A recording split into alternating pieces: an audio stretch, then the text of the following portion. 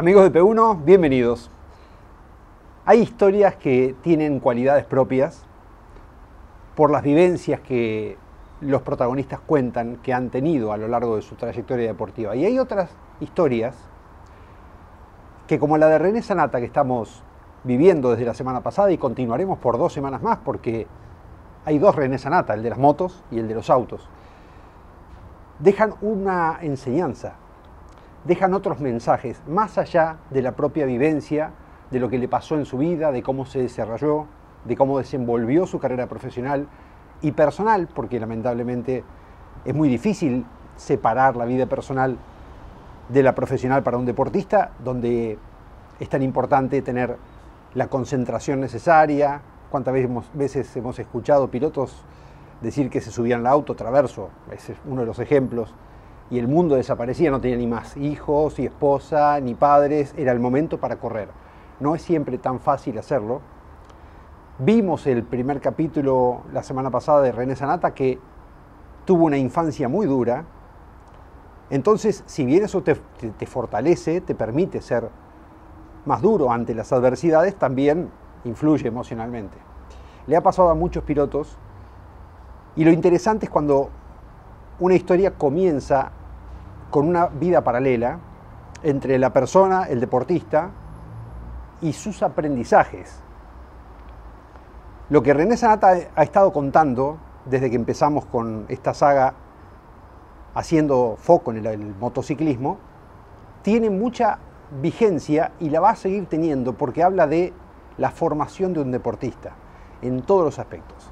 Hoy descubriremos en esta segunda parte mucho más de eso y terminaremos hablando del motociclismo para cerrar esa etapa y luego comenzar la semana próxima con la del automovilismo, con algunos mensajes muy interesantes que deja René. Antes de comenzar esta parte, quiero contarles que para hacer este programa tuvimos que molestar a mucha gente.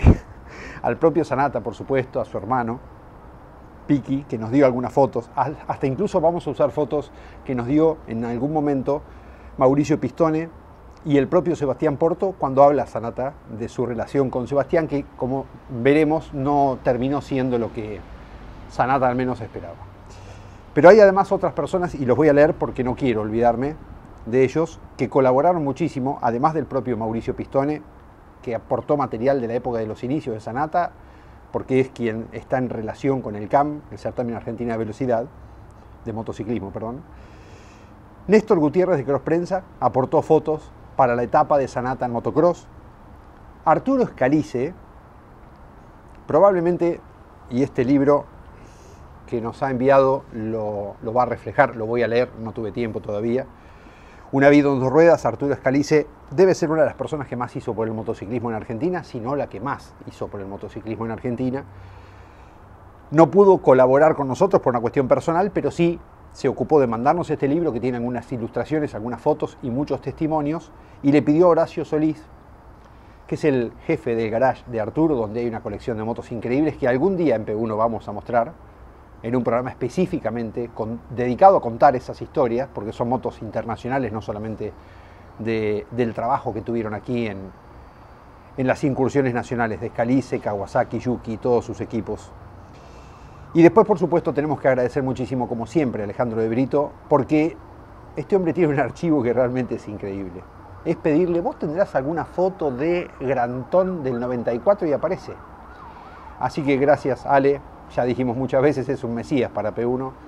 Colabora muchísimo con nosotros y merece este agradecimiento especial. Y también a Matías Grosso, quien tuvo la oportunidad de cubrir el récord de Sanata eh, de velocidad en Rafaela en el año 2012 y que nos aportó fotos y un video espectacular que verán en este programa. Quería mencionarlo antes para que entiendan de dónde se, produce un programa así. Sanata no tenía tantas fotos como él mismo creía. Por su personalidad, René nunca le dio mucha importancia a esto, a pesar de ser el primer eh, piloto que tuvo un equipo de prensa profesional en Argentina. Pero eh, no le daba tanta importancia y en los años 80 y 90 no se sacaban tantas fotos tampoco, así que fue difícil conseguir algunos testimonios y ustedes verán que algunas partes del programa no tienen tanta ilustración, precisamente porque René Sanata es muy expresivo y vale la pena ver cada gesto que hace y porque tampoco hay tantas fotos de, de cada una de esas épocas. Segunda parte de René Sanata. Hasta 1983 era un piloto de motociclismo, veía que se le complicaba, pero vuelve en el 87 y seguirá hasta el final de sus días en motos, allá por 2012.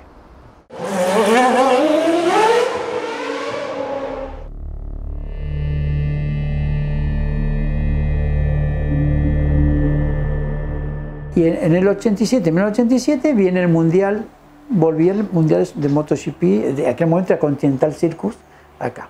Viene Arturo y me dice, eh, porque ahora sí, eh, eh, si me decís que sí, traigo una moto para correr la fecha mundial. ¿Cómo le digo? Sí, 87, ya hace tres años que yo no andaba en moto. Pero tenemos un problema, dice. Tiene que estar rankeado. Así que tenemos que correr. Y ahí lo conecto con Rubén Bura, con Eritier, con no sé con quién más, con Olmi, que está en el Club Argentina Piloto. Y ahí corremos, logro, logro que Camod y la FAM organicen junto con el automovilismo, con el Club Argentino Piloto, correr la moto juntos. Entonces yo corrí en las dos categorías. Dos, veces, dos o tres veces salí tercero en las dos categorías. Hice podio, perdón, en moto. Hice podio en moto. Y, tercero con el Nissan. Pero era cómico, porque yo me bajaba del auto, salía corriendo y salía en la moto. ¿Viste? Entonces me ponía el buzo, el buzo de cuero y salía con la moto. Venía corriendo y que había otra categoría, pero me ponía el buzo antiflama y salió otra con antiflama. Y así fue. Eso fue en el. Y salí campeón en el 87. Viene la fecha del mundial, acá, y yo fui el mejor sudamericano. Le gané a Iván Paracesi, al, hermano Lavado yo, fui el mejor sudamericano. Clasifiqué 21. De 30 y pico motos, clasifiqué 21. Chocho, todo. Todo chocho. Una moto privada, con, como carrera de cliente, repito, no es a veces el 21, a veces estaba más cerca en tiempo. Bueno, listo. Mañana tanque lleno, yo me caigo. Se me cae uno adelante, lo esquivo y me caigo, pum, pum, pum, pum, y la palanca de cambio rompe la caja. Cuando entra en la moto y prueba la moto, siente que taca, taca, taca, taca. Había un taca, taca, taca, taca. Sacan la caja. Sacan la caja, todo, y viene uno de esos, hola, ¿cómo te va Arturo? Tiró toda la caja al piso, que esto, que el otro, y llegaba la hora de correr. Bueno, una cuestión que se arma la caja y lo que era tercera era cuarta y lo que era cuarta era segunda, ¿viste? Entonces no me dejaron correr. Yo dije, quiero correr igual. No, no, no, no. Y ahí Arturo en la carrera nos dice, muchachos, el año que viene corremos cuatro carreras en Europa, el Mundial, el 88. Y a mí dije, vamos. Y así fue. Y nos fuimos cuatro carreras en Europa. Y se hizo todo el trabajo, entrenamos, compró una moto nueva que nos entregaron allá, ya el 88 que fue un fracaso la, Yamaha en ese año, con los dos cilindros juntos, con el escape para atrás. Y bueno, fuimos y trabajamos. Y después viene esa famosa carrera de Nürburgring, donde clasifiqué tercero bajo la lluvia, con una moto vieja. Pero no fue lo bueno eso. Lo bueno fue que después de la carrera, después de la clasificación, en aquel momento era libre, se inscribían 60 motos, y vos tenés que estar entre los 36. Y yo estuve las tres primeras carreras, 36, 37 y 38. Estuve ahí, faltaba ese pedacito a las tres primeras. Vamos a Alemania y con la lluvia clasifico tercera bajo la lluvia. Para todo el mundo me conoce. Y a la noche ahí tengo fotos también a la noche, a la tardecita viene unos, tipos de Michelin, donde ahí tuvo que ver algo Reutemann, pero nos habían, dado unas, habían regalado unas gomas antes, pero las carré cliente. Ahí tuvo que ver Reutemann y Pierre Blanchet, ¿te acordás? Que era Argentina, que nos, consiguieron, nos dieron las gomas en algunas carreras, nos daban las gomas Michelin. Caí en la tardecita, dos tipos de Michelin, Sanatá, en el box. Allá atrás, la loma del traste, estábamos nosotros. Sanatá, sí, acá estamos en la carpita. Y nos dan un ticket un voucher que teníamos acceso por ser el, el mejor privado para el domingo una goma oficiales. Entonces, van a buscarla, van a buscarla, la van a buscar, tanque lleno, usamos la moto buena, que le habían cambiado las válvulas, vamos a sacar la válvula de escape, el que entiende motor de dos tiempos va a entender, una válvula de escape que arriba se abre, es suave de abajo y arriba explota y le vamos a sacar la válvula, allá estaban andando que era sin, sin válvula de escape, era moto abierta, bruta pero abierta. Tanque lleno, seco. Sanata, en dos secos hago el tiempo, el 11 tiempo, el décimo primer tiempo. Pa, listo, estamos todos chocho y te sale, estoy feliz, le digo. Entonces, eh, vamos a largar con esta, ¿viste? Estaba por esto lo. Había quilombo en la, la clasificación, resulta que en lugar de 36 largaron 42 motos, largaron más motos. Y yo estaba en primera fila. Entonces, un rato antes se le a llover. ¿Y qué hacemos? ¿Qué hacemos? ¿Qué hacemos? En conjunto todo se decía, bueno, para esa moto, para la goma, para goma lluvia y para lluvia no era moto, bueno, había que aguantar dos vueltas para que se haga el camino. Y aguanté una vuelta y media. Venía segundo, di dos vueltas, segundo hasta el hora. Me escapa, a lo mejor tenía que haber hecho más tranquilo, no sé. La cuestión que me caí. En la última curva allá abajo, uh, agarró de golpe, pum, me tiró. Caigo de espalda, veo la estrella, porque existe una estrella, me esquivan todo, y bueno, ahí se terminó.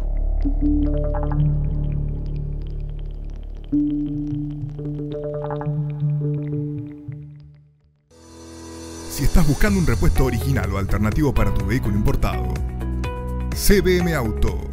Años de experiencia. Miles de clientes satisfechos. Importador directo desde Estados Unidos y Europa. cbmauto.com Yo, Norberto Fontana, te lo recomiendo.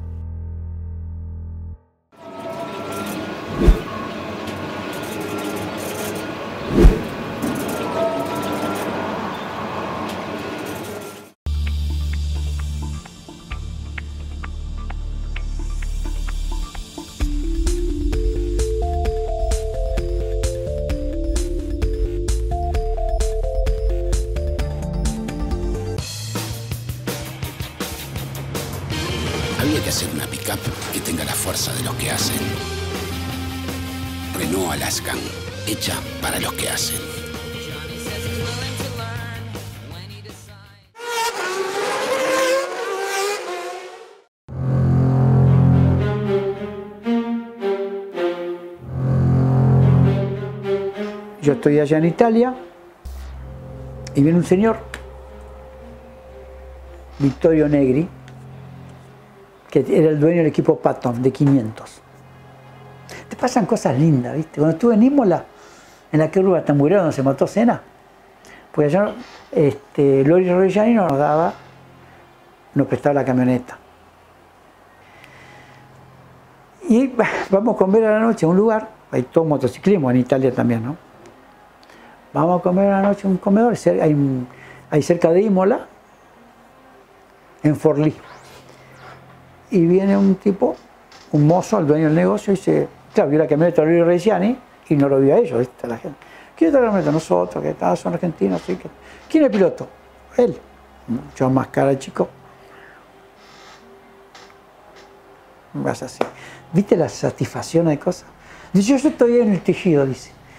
Yo estoy en el tejido.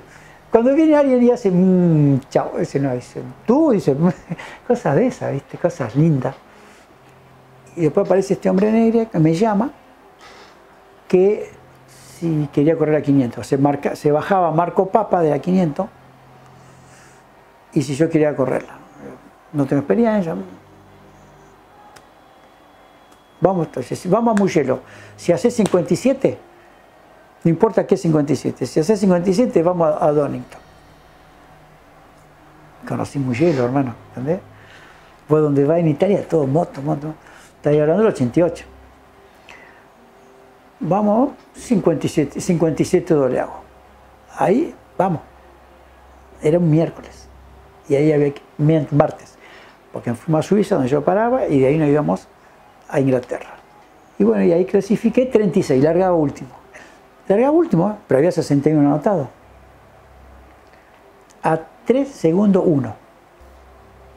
Tengo todas las planillas. A 3 segundos 1 clasifiqué 36. Garner, Eddie Lawson, eh, Kevin Schwantz, Randy Mamola. Tengo fotos con Eddie Lawson. Te acuerdas que era Randy Mamola y Eddie Lawson con las callivas. En tanque lleno se corta el cigüeñal. Y esta gente no tenía una moto, era una sola moto. Y no tienen repuesto el cigüeñal, cambiar ni motor. Así se corría ante el mundial. Hoy todo lo que vos ves sofisticado. Entonces, con todo el dolor del arma, me encuentro con Reinaldo Cosani, el organizaba la fecha mundial. Me dice, vamos, ¿te quedás? Sí, yo me quedo unos días. Vamos a Francia, al Gran Premio de Francia, a los 15 días.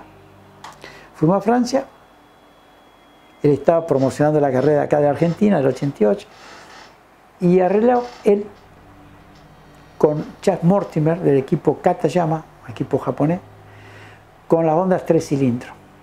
Entonces agarra, arreglamos ahí, arreglaron ellos, charlamos. Que, acordate, el sponsor era Quilmes, el sponsor de la carrera. Entonces él se juega el pana de su bolsillo, creo, no sé, o su contrato, Reinaldo, que yo corría en Brasil a la semana en Argentina. Yo ya me subí a la moto recién en Brasil. Como salía de Brasil era un entrenamiento y venía a Argentina para andar un poco mejor. Ah, qué lindo, ¿eh? Voy a tener una moto buena. ¿Te acuerdas se suspende la carrera? Se suspende. Entonces, ¿quién me le dijo? Está bien, no corramos acá, no voy a poner plata en Brasil. ¿Entendés? Donde Reinaldo pagó una multa, Reinaldo pagó una multa que después lo y lo cobró cuando le hizo juicio a la ciudad de Buenos Aires por el autódromo, ¿te acuerdas? Y bueno, así que Sanata se quedó sin perder. eso fue 88. Listo, me olvidé de la moto, volver a correr auto acá.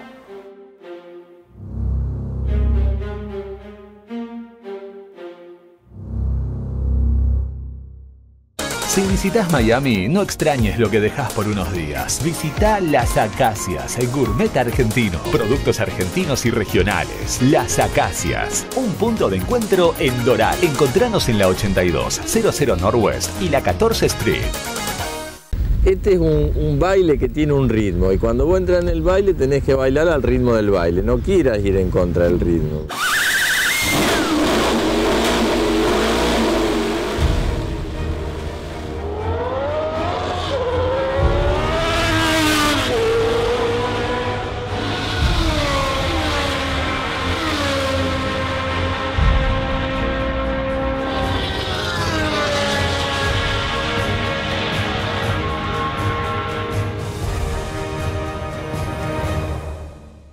Aumenta la productividad y ganancias de tu taller con el equipo de alineación 5D Macking Parts. Obtener resultados en 90 segundos con la alineadora más rápida y precisa del mercado.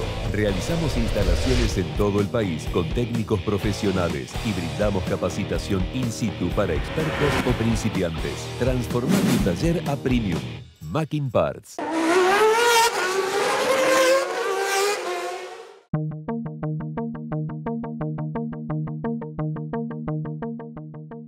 Yo hago mi equipo, siempre tengo la relación con Arturo. Eh, tenía el equipo motocross y empecé a, y arreglé con Arturo, le compré una 250 de autódromo para un chico de Rafaela, alguien tener un equipo. Vamos a San Juan, vamos a Río Negro, debuta porque en otra categoría, conmigo, pero con otra categoría, y corre amoroso con el equipo Kawasaki rompe una moto en tanque lleno y rompe una moto en carrera. El muleto rompe en carrera. Venimos a Rafaela y ahí ya lo pongo a Porto en la, en la, 250 y voy a ver la carrera, voy a ver el entrenamiento el viernes. A mi, equipo. Viene Daniel García y Reinaldo Cosani y me dice, vení, me voy a sentar la moto, la Aprilia. Bueno, así que le pedí un casco a uno, un buzo a otro, pues me siento. Yo corriente ese 2000, 93. Bueno, dale, salí, se me la sentaba. La senté un juego de pistones, a la segunda tanda, dos tandas, ¿puedo acelerar? Sí. Pero tengo para tres vueltas, ¿eh? no más, ¿eh? Vamos a ver cómo está la moto. Pasa que yo le encontré un problema a la moto. Yo era muy técnico, ¿viste? Me daba cuenta de las cosas. Ahí descubrimos que la Aprilia eh, no es como un Yamaha que te puede ir modulando. La Aprilia es o vas así o vas así. ¿tá? Si vos te pones a mitad de la curva, la agarras, se agarra moto.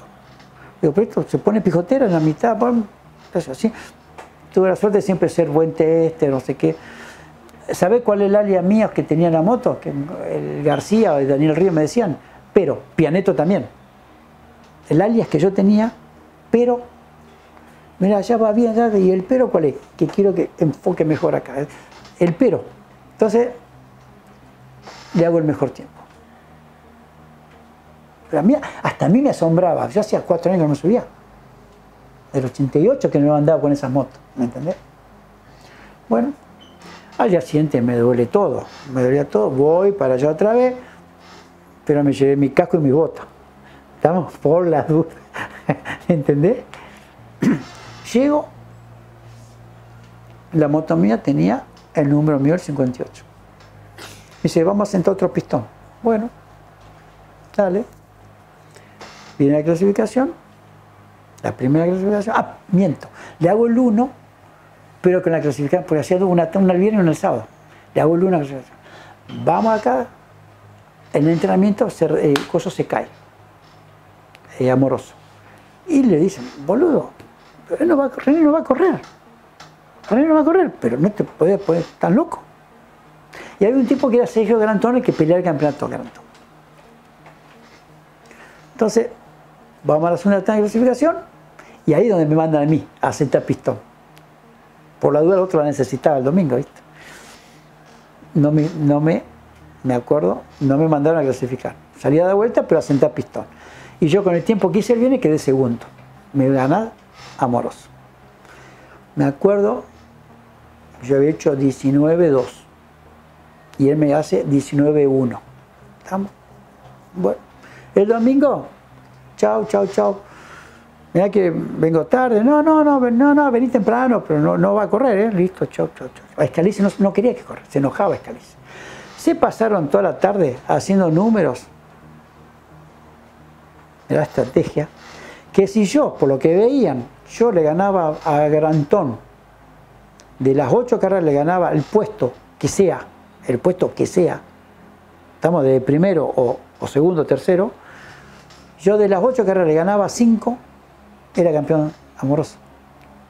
¿Entendés? Donde Grantón tuvo un problema, me corría a mí. En lugar de correr contra, contra, el otro, me corría a mí. Bueno, pues ya antes, yo, en el 87 yo ya lo había ganado. ¿Entendés? Bueno, vamos. Llego el domingo, la moto mía tenía el 58. Bueno, ¿por qué? Yo clasifiqué la moto porque en el motociclismo, que hoy no está más, vos el equipo muleto clasificaba. Los dos compañeros de equipo vos podías clasificar los dos. Entonces Amoroso, yo clasificaba segundo, Amoroso se rompía la moto en tanque lleno, corría la carrera con mi moto, pero largaba segundo. ¿Entendés? Clasificaba la moto, no el piloto. Entonces él, sabía que primero segundo largaba. Tanque lleno, bueno, va a correr, pero tenés que salir atrás de él. Le digo, mientras ustedes lo sepan, aparte yo no aguanto 22 vueltas. Bueno, largamos, la flechita todavía estaba, paso, pum, largo en punta, por suerte hago en punta, veo atrás, segundo, grantón. Así que la flecha a fondo, para gastarlo, ¿viste? Aparte de gastarme yo, ya gastarme de una yo, ¿viste? Para la otra vuelta paso, grantón con los ojos así también mirándome. A la otra vuelta miro para atrás, amoroso segundo ya, ¿viste? La cuestión es que la vuelta 12 me hace seña y yo pedía la seña. Porque hasta que todos tenemos orgullo. No, que yo dejé pasar. Sí, sí, lo dejé pasar, pero dale, que yo quiero, quiero que me dé la orden, no que me pase porque me pase. ¿Me entendés? Porque vos al primero tenés que ganar a tu compañero de equipo. ¿No es así? Entonces, paso, salgo de la recta y Daniel me hace así, ¿viste? y yo paso y le hago. Y yo le paso y le hago que, que, que, pase. ¿no? ¿Listo? Terminé la carrera, todos contentos, todo bien. Todo. Cumplí mi objetivo. Me llama el lunes, Arturo. Bueno, que no se te da costumbre, basta, ya está. Después me llama que corra. Bueno, la cuestión es que corrí carreras. Y en Rosario yo venía ganando, que me ponen el cartel y me voy, me voy, y me caigo. Atrás, la curva atrás de boxe. Y también eso no sabes por qué te caes, se ve roto nomás. Y me caí, porque descubren ellos después. Si más a fondo, digo, pasó algo, siempre Rosario. Bueno, yo me caigo. Pero Cerdera, eh, Grantón ya se había quedado antes, largándome, siguiéndome. Vamos a la última carrera, a la anteúltima carrera, anteúltima carrera que se hace en Buenos Aires. Pigo en punta, paso largo, uh, y cuando paso la primera vuelta, el cartel mío así. ¿Viste? Tranquilo, tranquilo. Hago la, horquilla, y atrás, atrás moroso, hago la horquilla, entro y llego a la confitería y estaba ahí Grantón, se estaba levantando la caída. Él me fue a correr a mí y voy a quedarse detrás del otro. ¿Entendés? Ya era campeón amoroso. La última carrera, la última carrera fue en Cabalé, no me dejaron correr. Porque las caricias no quieren.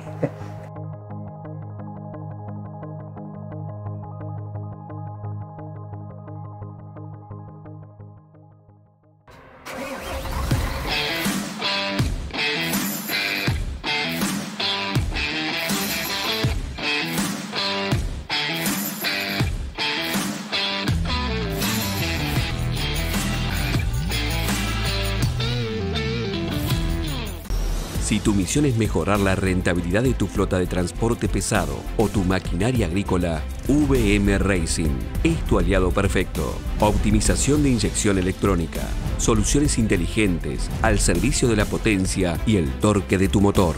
Porque tu cosechadora debe cosechar, porque tu camión debe transportar.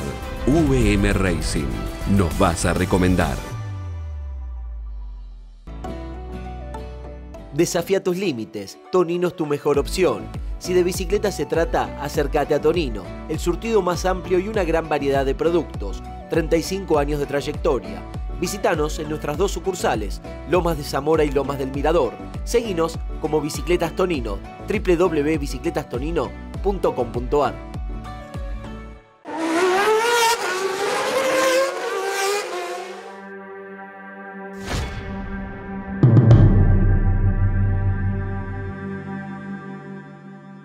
Y en el 2010 me llama Cordasco de BMW, que BMW presentaba una moto acá en Argentina, de cosas. Cordasco había conmigo, corrido conmigo en Superbike. Y me dice, quiero que sea buen embajador, quiero que la pruebe a la moto, vamos a mostrarla, vamos a otro circuito y la mostramos, la moto. Bueno, la moto vino, el único que la podía manejar era yo, era él y yo en circuito. Presentaba la moto de la Sport, la RR que se corre. Vamos a Buenos Aires y vamos a Termo con las cubiertas, la moto en ese momento estaba con las Dunlop, las K2 y las K3. Y con las K3, me digo, ¿me dejan un rato rápido? En ese momento el Superbike era más 40 años. Acá. Que nunca, nunca tenía que dejar de serlo, pero más 40 años. Salgo la moto, y voy rapidísimo che, qué bueno, que esto, lo otro, quedó ahí. Entonces yo dije, si yo le pongo a la escadora que se usa, son 4 o 5 décimas más rápido, ya estoy. Quedo ahí. A los 4 o 5 días me llama y dice, René, vamos, vamos, ¿querés correr? Vamos a hacer un equipo. Yo, porque BM me da las cosas, arreglamos algo. No, Raúl, yo tengo 54 años, ya, no. Dale, René. Bueno, arreglamos. Bueno, quiero las motos. No, hay un problema la moto no llegan hasta tal fecha, pero perdemos dos carreras. Da mesas, que están las del prototipo, no puedo. Esta moto no es para correr, esta pero si la tenemos ahí. Esta moto vuelve a Alemania, se tira al horno, se desaparece. Es prototipo. Pero vamos a perder. Así fue. Perdimos dos carreras y salí campeón. Entonces vamos un día y les gano en el cabalén. Les gano en el cabalén. Y yo el sábado, en clasificación, le, hecho, le hago el la primera tanda de entrenamiento el viernes, le pongo la goma nueva y me me pego un, latigazo a la moto, pues en aquel momento no había control de tracción, todavía nada. Me pega la burbuja en el pecho, ¿viste? No me caigo, quedo pata para arriba, entro a boxes, todo caído el carenado. ¿Te caíste? No, no, no me caí. Uf, mal. No, no, no. Arreglar 20 minutos de prueba. No, no, no, arreglar que quiero salir. ¿Viste? Yo para sacarme todo ese. Enseguida, es lo que necesitamos cuando un chico se cae, que enseguida salga, que no se, no se asuste. No, no, no, armar, armar, armar.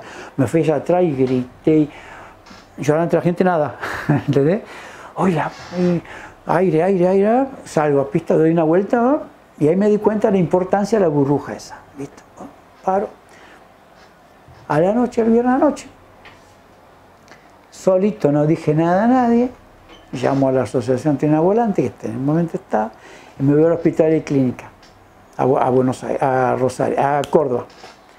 Nadie sabía, nadie. Me fui solo, quejándome. bueno, Llego allá, dos costillas fisuradas y un desgarro de inter- intercostal acá. Oh. Bueno, me acordé cuando me caí en Jerez de la Frontera, el doctor Costa, conocido, habrá sentido nombre, el doctor Costa, el que le salvó la pierna inclusive a, Miguel Guerra, a, Angelito en, en Fórmula 1. Cuando yo me caí en Jerez de la Frontera, ahí conocí la cinta tape. ¿Querés correr? Sí, corriendo, sí. Bueno, hace así. Respiré hondo, dos vueltas, dos vueltas cinta tape. ¿entendés? Por eso yo digo, hermano, el corredor de auto le echa una mancha de aceite, ay, se quejan. La ampolla, se corre de moto, va. Bueno, me hice acá lo mismo. Pero ¿qué pasó? El domingo de la mañana no me podía mover. Vamos a clasificación y yo di dos vueltas para clasificar y clasifiqué segundo. Hice saber, todas estas cosas uno las aprende, hice saber que yo estaba dolorido. Sí estaba dolorido, pero lo hice saber. 20 minutos antes de la carrera me voy a la, me voy a la ambulancia de la Asociación Argentina Volante, pero a saludar a los chicos nada más, para que me vean. Entonces dice, este no llega, este está cansado, este le duele. Entonces hice toda la carrera atrás de ellos, atrás de ellos, atrás de ellos. No gasté, ellos gastaban. Frenaba, yo le frenaba por afuera, sin pasarlo. Entonces aceleraban, mar- rueda marcada, rueda gastada. Tontería que uno aprende. ¿Entendés? Entonces cuando quise, metí una frenada, lo pasé en me- hice mi ritmo tres vueltas. Me morí. Yo pensé que aguantaba las últimas tres, resulta que falta la última vuelta, está muerto. Entonces, cosas de frenar y cuando es- escuchar, porque se escucha, cuando el otro aceleraba, yo recién aceleraba, cosas de esas. Y le gané. Faltaba San Jorge, una carrera más faltaba. Venimos viajando y le digo a mi hija, no corro más. Lo mismo le he dicho a mi hija, que después te lo cuento, con el auto. Me bajé y dije, no corro más. No corro más. ¿Y por qué, papi? No, ya está, digo. Liberaban la categoría. ¿Me entendés? Liberaron de edad. Ya contra un pibe de 20 años no lo voy a correr. No, le digo. Raúl, no, René, vamos, vamos. Porque, no. No. Y no corrí. ¿Me entendés? Este, bueno, eso fue el 80 y el, 90, el 2010. Vamos a la carrera siguiente, salgo su campeón, todo bien, salí segundo en la carrera, rueda a rueda con el otro, todo perfecto.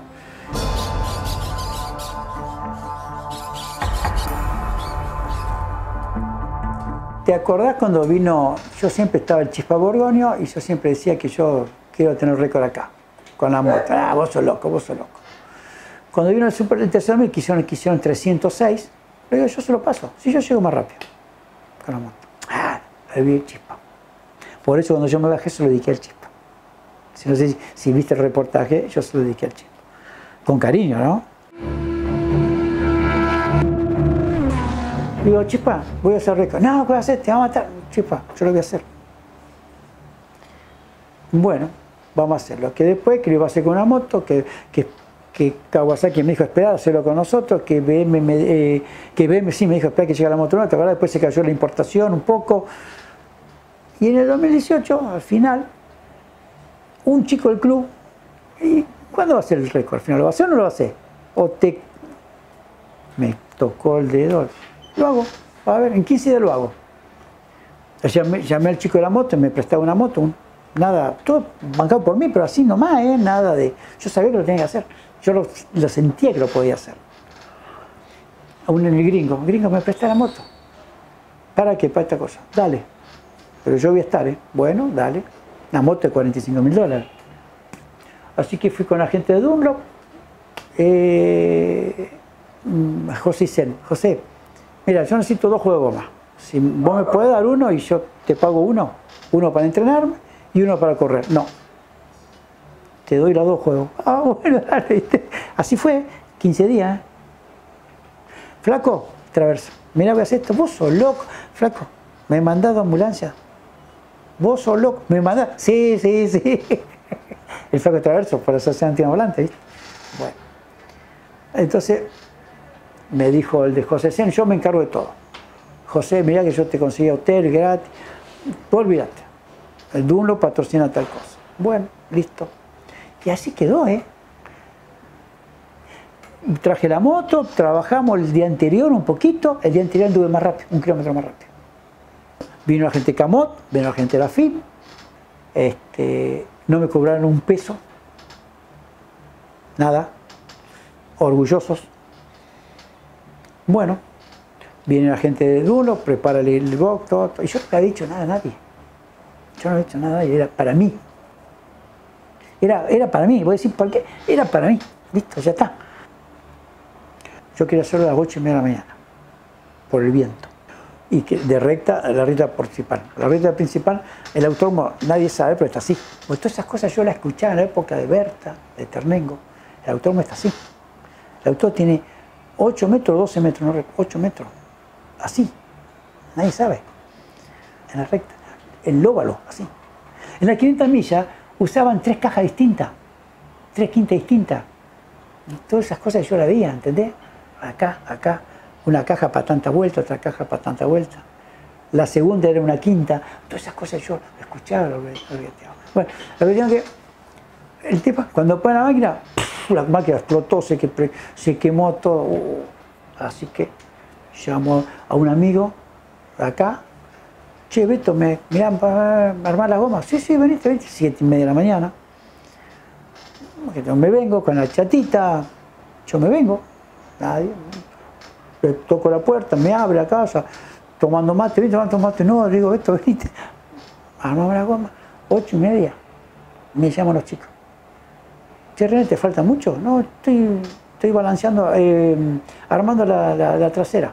Porque el balanceo me lo hacían acá después, ¿viste? Tipo MotoGP. René, está lleno de gente acá. ¿Cómo lleno de gente? Ah, escucho en el diario, claro, el autónomo, como orgulloso, que René Sanata va a intentar hacer el récord del autónomo de velocidad final. Yo quería hacer los 3.13 de la Indy, ¿me entendés? Yo quería hacer los 3.13, pero el día anterior he hecho 3.11.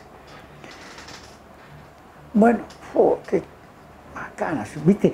Ya me ponía un compromiso de hacerlo. Llego allá, todo gente, esa gente que nunca te ve, que en las calles no te saluda, pero ahí para la foto, ¿viste? Que después este, ponemos todo esto, Camot, el grupo electrógeno, le del autónomo, va al grupo allá para cortar la cosa, para poner los sensores, no arranca el grupo. No arranca el grupo. No arranca, no arranca, no arranca. Bueno, mando, vayan a buscar, a comprar 10 rollos de cinta, o sea, lo que vale el rollo de cinta, y pegamento. Y había que dejarlo por lo menos 20 minutos, porque a 300 kilómetros lo levanta el cable, ¿viste? Entonces, bueno, fue, Cada tanto pasaba el, comisario, el de la FIN, a controlar la pista, ¿viste? Todo. Y yo puse, había una ambulancia, dos ambulancias cada, una ambulancia en cada curva y un centro médico eh, en, el, autor, ahí en la base, ¿viste? 500 personas. Bueno, yo me recluí, ¿viste como soy yo? Yo me escondí.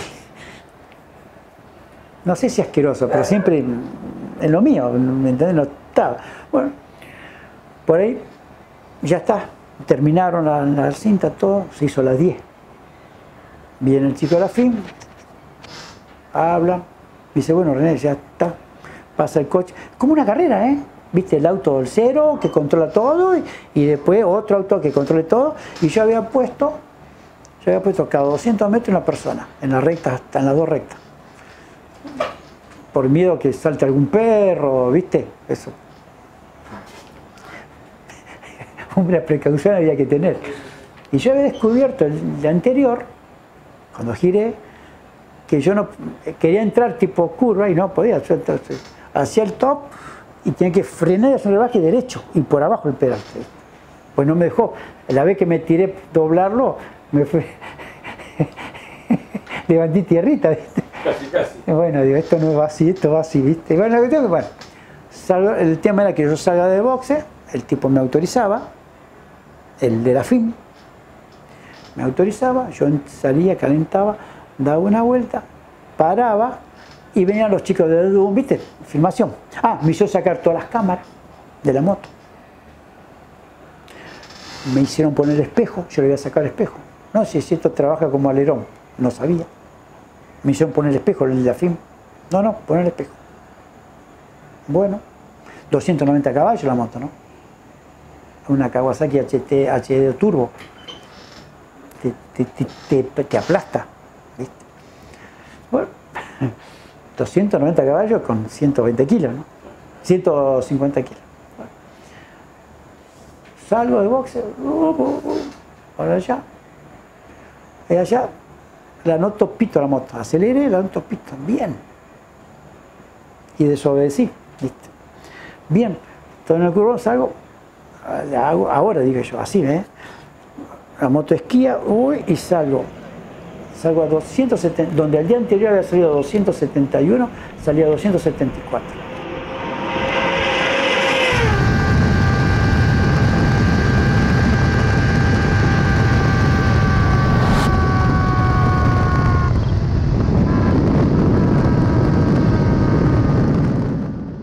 Ahora dije, no, no paro.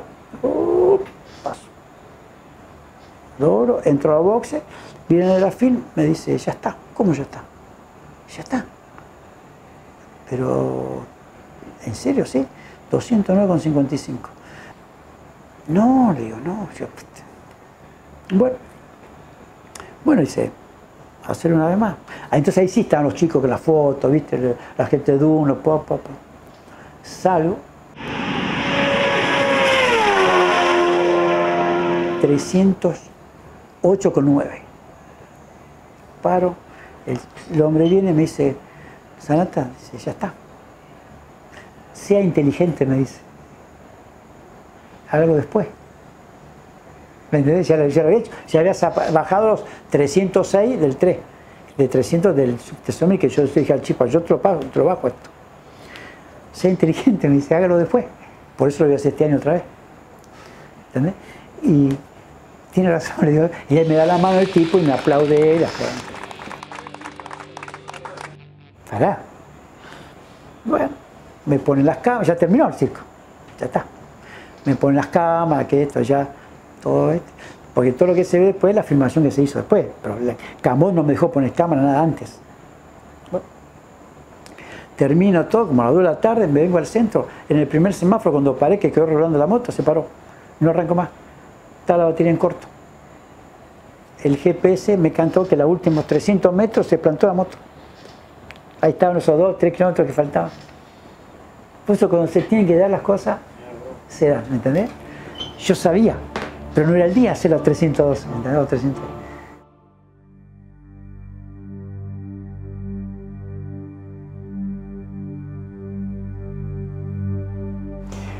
La historia con Sebastián Porco. Él, yo tenía un sobrino cuando yo empecé a hacer equipo, te dije, en el 93, estaba la categoría monomarca Sanela. Entonces yo compré una motito. Sanela me dio una moto y yo lo puse a mi sobrino que peleaba con él y andaba más rápido que él. No tuve la conducta deportiva, que sí la tuvo Sebastián. Y después sale enseguida el tema de comprar la, la 250 y ahí sí ya empiezo un porto, donde yo voy a hablarlo al padre me dice que yo era loco. Un chico de 14 años meterlo en un 250. No, no soy loco. Miremos para adelante, miremos futuro, miremos el bosque. Yo prefiero ser cola de león y no cabeza ratón. Que aprenda. Acordándome todo lo que me pasó a mí. Anda atrás, atrás, cuesta hacer entender a los padres que a veces no es bueno ganar. Me pasa hoy con un chico, con este chico valor que yo tengo hoy. El otro día lo pasaron mejor. ¿Cómo mejor? Pero yo quiero ganar. No, no, no gane. Lo gana un pibe de 14 años, lo infla. Lo inflas, lo inflas. Eh, no, no. Tenés razón. ¿Me entendés? Entonces, déjalo que te guste. ¿Qué pasa? ¿Qué pasa? Entonces, eh, con Porco, lo hago venir. Donde fue lindo deportivamente y algunas cosas personales no fueron buenas. Hice un montón de cosas por el chico este, como lo descubrí a Tati Mercado, igual, a André González, igual, tipos agradecidos. ¿sí? Y Sebastián, muy bueno, y donde yo tenía un contrato firmado y yo un día se lo di a que después Scalice lo llevó a Europa. Este, pero fue enseñándole mucho, enseñándole mucho. El 93-94, el que trabajó muchísimo, porque en ese momento yo estaba con el TC2000, que ahora te conté, salvo ese año que yo corrí en 93, pero en 94 que él sale campeón, con mi hermano de mecánico Piqui, esos dos años la moto hizo mi hermano, en dos años la moto de mi hermano, que también tiene mucho que ver, en 23 carreras nunca vino la en 21 carreras nunca vino la moto en, rota. Siempre llegó, tanto en los entrenamientos como en la clasificación como en la carrera. Y eso tiene mucho que ver. Acordate, mi hermano, te conté al principio, trabajó en Europa. Venía con esa mecánica. ¿Me explico? Y como es que el chico aprenda. A ver, yo corrí en mil. En 94, de verdad que fue ese año bueno, pero él iba él a las carreras. Mi hermano lo entrenaba. Mi hermano me cagaba pedo a mí. Yo una vez fui a correr a, San Jorge al entrenamiento, a ver entrenamiento, yo venía de viaje de las publicidades de Pianeto, pa, pa, pa, pa, paré y yo tenía el bolso de cuero y salí de una vuelta y le bajé el tiempo a él. Y mi hermano me re insultó, se enojó conmigo, va a ver lo que va a pasar ahora. Pero no, ¿qué va a pasar? Que tiene que andar más rápido, le digo. No puede ser que yo ande rápido que él. Se cae. Por eso me reputé a mi hermano. Ahí está, ¿ves? Después terminó andando más rápido. O sea, yo lo hice, yo puse, yo banqué, junto con Arturo, tiene la publicidad de la mía, si vos te acordás 94, la mía publicidad del Tesoro tiene la moto, ¿estamos? Pero mi hermano es el que estaba en la carrera. Y mi hermano era el que lo entrenaba. Y yo era, tenía el nombre y lo ayudaba. Cuando yo podía, tengo este, esta cosa, ha salido en el gráfico, en, en el Corsa, en aquel momento, entrenándolo él en, el motocross. Me caí un día entrenándolo a él cuando el Tano Gaba se dio cuenta que en un momento yo no levantaba este brazo. Y el Tano se dio, el único que se dio cuenta fue el Tano. Me meto un ratito en el auto, pero eh, el Tano ve que yo para levantar en Paraná, para agarrar el manubrio, hice así. El volante, mira, se ríen, manubrio la moto, volante. Puse la mano así y estaba ahí. Y para, cuando salía para cerrar el vidrio, con esta mano. Entonces dice, ¿por qué haces eso? ¿Entendés? Entonces, ¿me entendés? Y yo di mucho, di mucho por ese muchacho. Mucho. Los primeros pasajes de Europa pagué yo. Con gusto, ¿eh? ¿Estamos? Pero este, me trabajó mucho fue mi hermano. Quedó como frío la razón. Quedó como frío. Me saluda si yo lo saludo. Pero la vida es así. Eh, Sebastián yo creo que no llegó por algunas cosas internas que no, que no, que no hizo bien abajo de la moto. Hablar de más, quejarse de la moto. Talento, actitud, no puedo decir nada.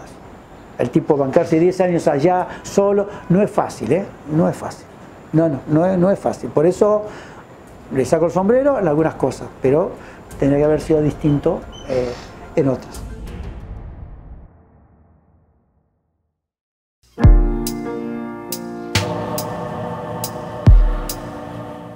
¿Qué significa Arturo Escalice para, el motociclismo? Y para mí muchísimo.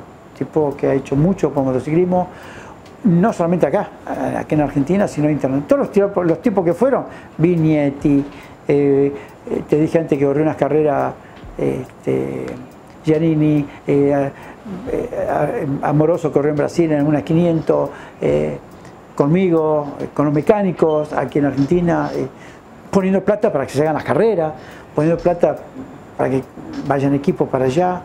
Este, hasta ahora, hasta hace puso con Tati. ¿Entendés? Hay muchísimo. Tipo, ojalá habría 10 escalices en el país, que lo hay, gente de la moto, ¿eh? Porque el motociclismo tiene un problema.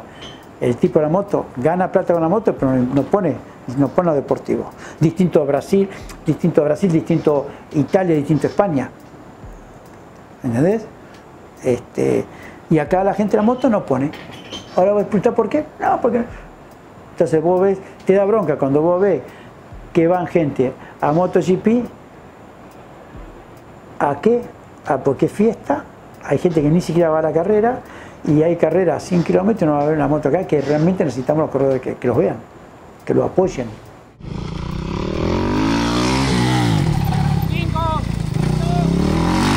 Tenemos muy buena mercadería de chicos, pero hay que hacerlo. No podemos ir una carrera y venir, no, hay que estar dos años continuos.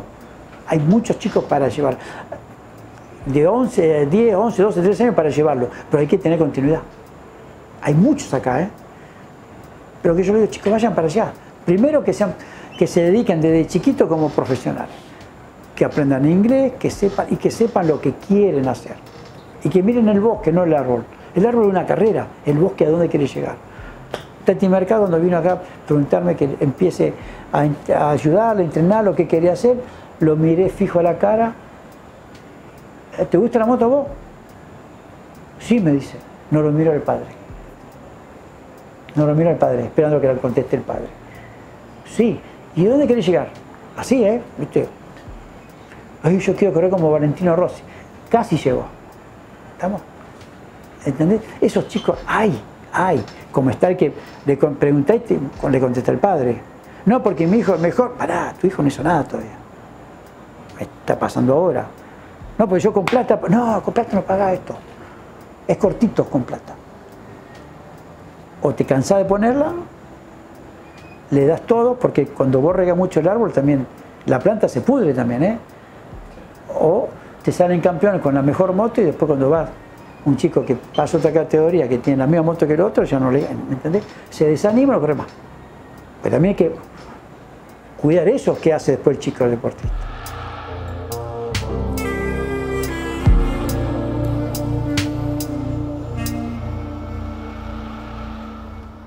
Creo que el mensaje es tan claro que no vale demasiada explicación.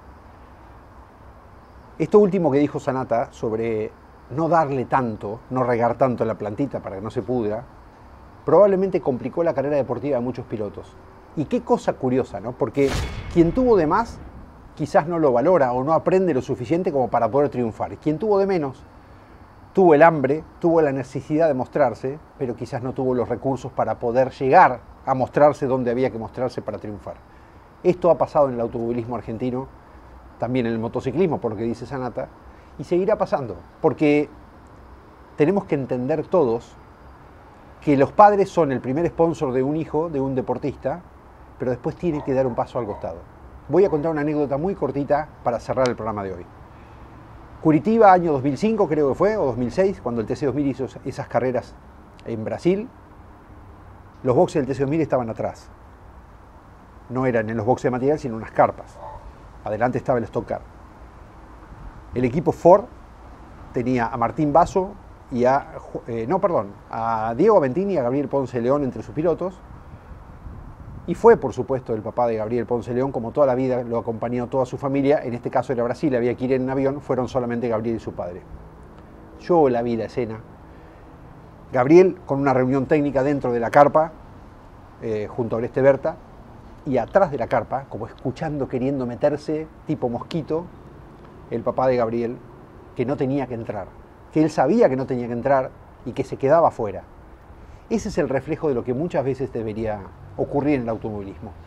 Y voy a citar a un ejemplo que algún día también merece un programa, si es que tiene ganas, porque es medio complicado para sentarlo delante de una cámara, Walter Bozano, el hombre que llevó a Pechito López, que acompañó a Pechito López hasta triunfar bien arriba, es de esos que saben hasta dónde los padres tienen que meterse y hasta dónde no. Lo dijo también Henry Martin en algún momento, tantos pilotos que han aprendido de sus propios errores o de los errores de algunos colegas. La semana que viene empieza la historia de Sanata en autos, que es riquísima, empezará con el TN, quizás antes con algo de fórmula, el club de pilotos y después en la última parte esa trayectoria en TC2000 donde tuvo años dorados y muy complicados.